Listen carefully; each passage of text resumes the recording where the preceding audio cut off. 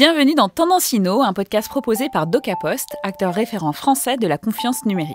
Notre objectif, vous partager les enjeux et tendances du numérique autour du Web3. Dans cet épisode, nous parlerons plus particulièrement du Web3, des institutions et des entrepreneurs, un nouveau trio gagnant. Nous sommes Alex Wattenberg et Marie Nadato, cofondatrices de Wagmi Trends.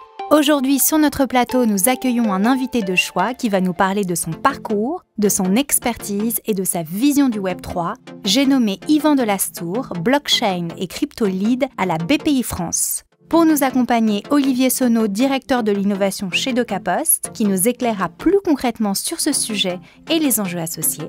Nous espérons que cet épisode vous offrira de précieux enseignements et de nouvelles perspectives. Sans plus attendre, mettez vos écouteurs et plongeons ensemble dans cette nouvelle exploration. Olivier, c'est à toi.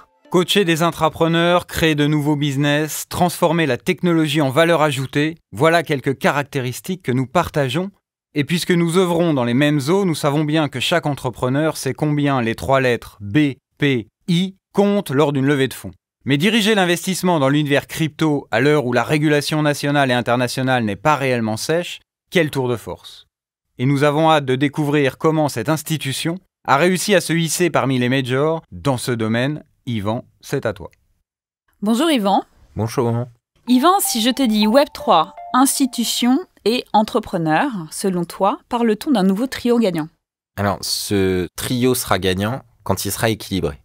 Pour l'instant, il y a un paradoxe, c'est que les institutions sont tiers de confiance, puisqu'on est un système centralisé. Et dans le Web3, comme on est sur une vision décentralisée, il faut que les institutions trouvent une nouvelle place. Et pour ça, euh, la bonne nouvelle, c'est que c'est l'entrepreneur qui va proposer des outils, des modèles, des expérimentations pour créer ce nouvel équilibre.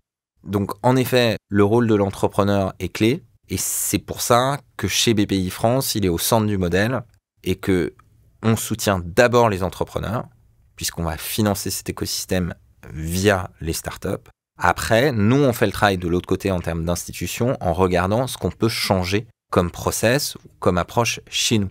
Mais bien sûr, on compte énormément sur les entrepreneurs pour nous aider à faire ces transformations. Yvan, comment la BPI a transposé son rôle de banque d'investissement traditionnelle dans le monde crypto, dont les codes et métriques sont assez différents, et demain, la BPI investira-t-elle directement en crypto?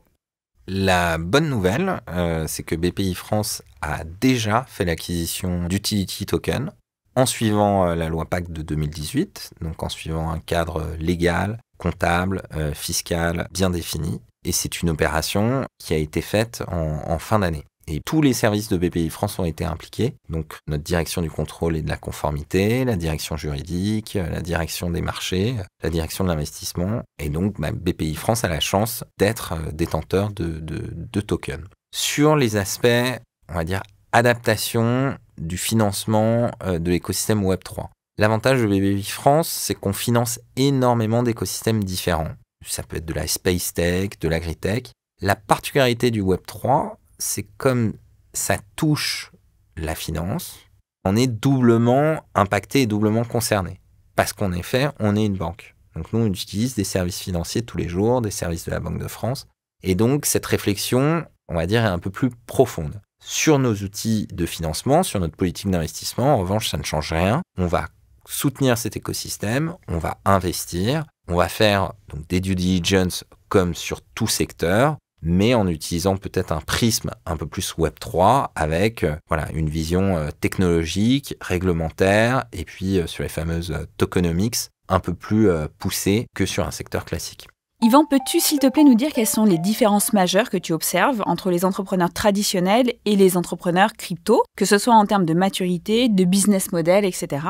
Et deuxième question, est-ce qu'il y a un trend commun qui se dégage des crypto-entrepreneurs? Il est vrai que le métier d'entrepreneur, c'est un des rares métiers où il n'y a pas de profil type.